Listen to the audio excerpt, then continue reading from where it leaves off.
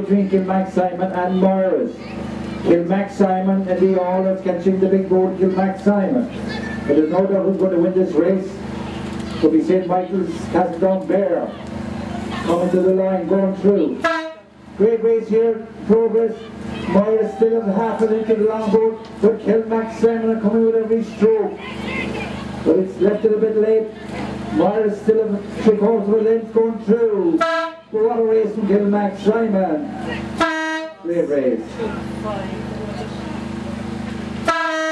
10 minutes for the next race.